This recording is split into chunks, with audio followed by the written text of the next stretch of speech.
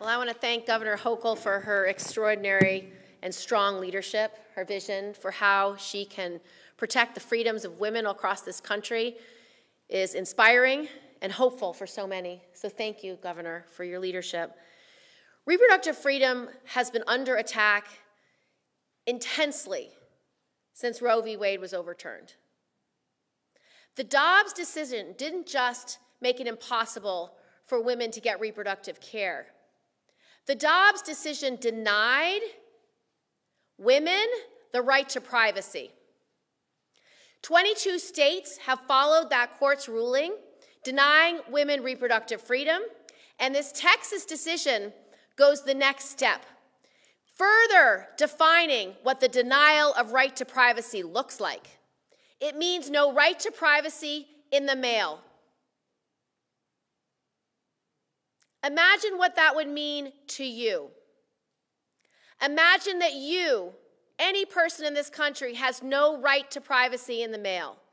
The government can read your mail, the government can stop your mail, the government can do whatever they want with your private information. This is an outrage.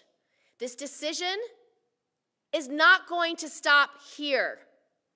The next type of medicine they will deny, why wouldn't they deny your reproductive care for birth control? Why wouldn't they deny the ability to have vaccines?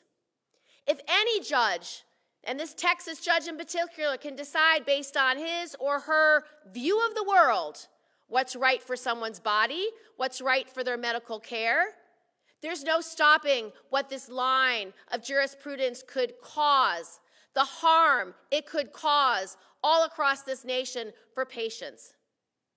Make no mistake, this is an all out assault on women's reproductive freedom, our civil rights, our civil liberties, and our right to privacy. Many colleagues across this country, both our state colleagues and our federal colleagues, are fighting back. I have just signed on to an amicus brief signed by 50 other senators. This amicus brief is going to give voice to women and families across America that we will not stand for the eradication of our right to freedom and our right to privacy.